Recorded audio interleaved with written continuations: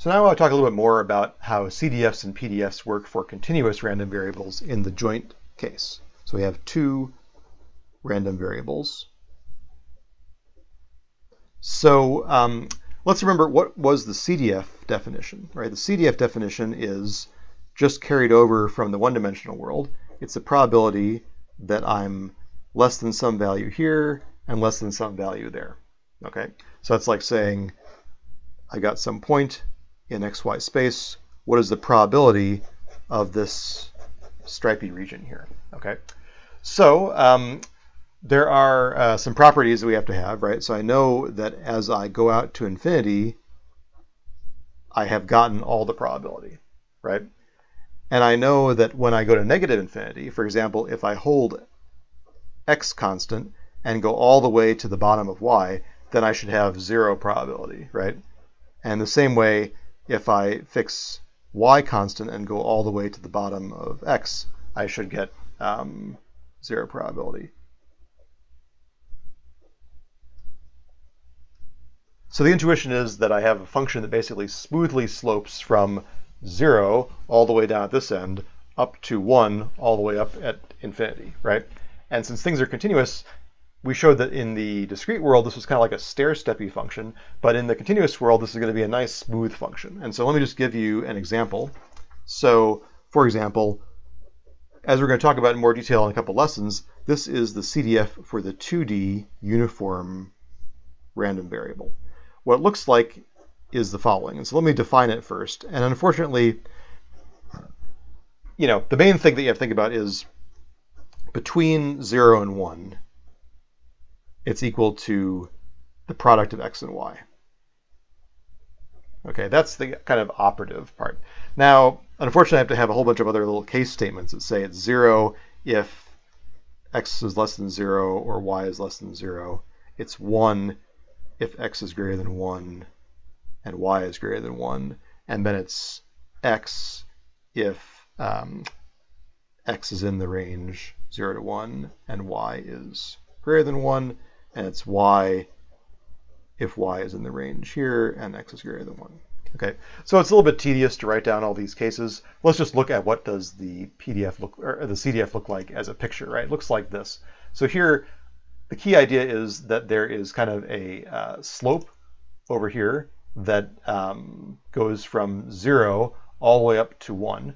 And as I rotate around, I see it kind of looks like a smooth plateau up to one. If I look at it from the top, I can see that beyond one in both directions, I have one probability. Below zero on either side, I have zero probability. And in between, it just kind of like smoothly slopes up. And the five conditions in that previous uh, written slide are just the five pieces that make up this function. The interesting part is really what's happening between 0 and 1 in both directions, where I'm smoothly accruing probability going from 0, 0 all the way up to the corner at 1, 1. Okay. So what does the PDF look like? Okay, so this is where things get a little bit more exciting.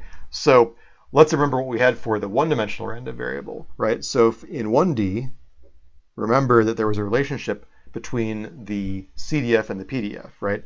The CDF was the integral up to x of the PDF. And the PDF was the derivative of the CDF.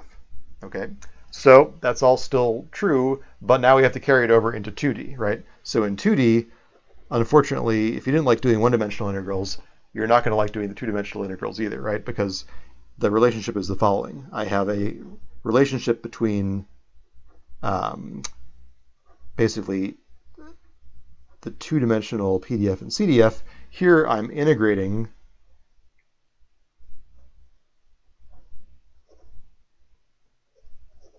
like this, right? So basically I'm integrating up to the point x comma y.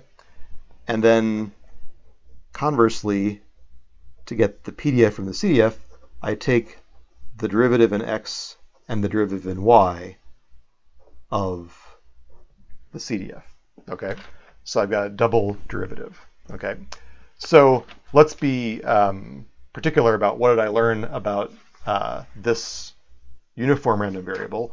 Well, what would I get if I wanted to take the PDF? I'd have to take the derivative of that in both x and y. Okay, so what is the uniform random variable 2D PDF? Well, it's the dx dy of this. Well, luckily there aren't a lot of case statements here because, you know, that derivative is zero almost everywhere. It's, it's zero here, it's zero here. It's zero for this because if I take the derivative with respect to x, I get one. I take the derivative of that with respect to y, I get zero, right? So the only thing that's interesting is happening right here. What I get is, um, I get one if I'm in the sweet range here, and I get zero otherwise. So this one I can draw more or less in 2D. It looks like basically this cube here. So in this world, what I have is a function that is basically one, it's a box between the, you know, from the overhead view, it looks like this. Okay. And just like for one-dimensional integrals, we're going to do 2D integrals over this PDF to get the PDF, the, to get the probabilities of certain events, right?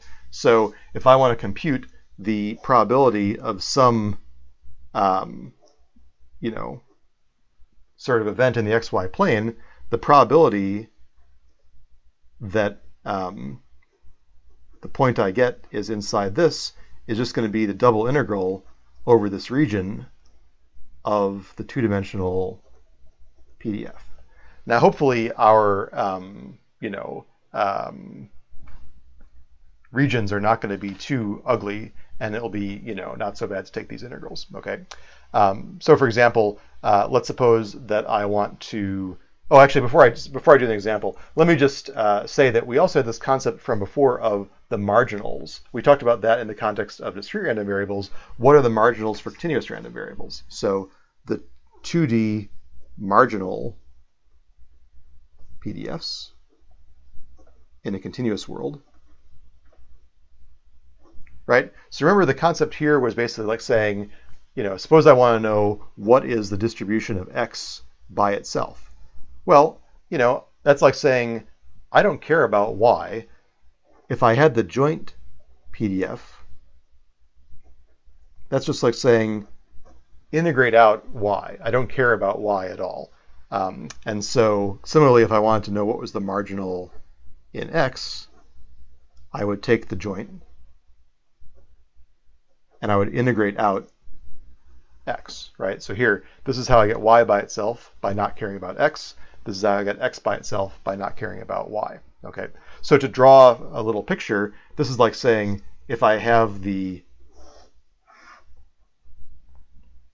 joint uh, PDF to get the marginal in x, I integrate out y. So I would integrate to get basically uh, just the marginal in x. And then to get the other way, I could integrate out x to get the marginal in y. Okay, and so I'm going to do an example in detail in the next lesson just to show you how to kind of grind through these double integrals. But those are the key like theoretical concepts that you need to understand what's going on with 2D PDFs, CDFs, and marginals.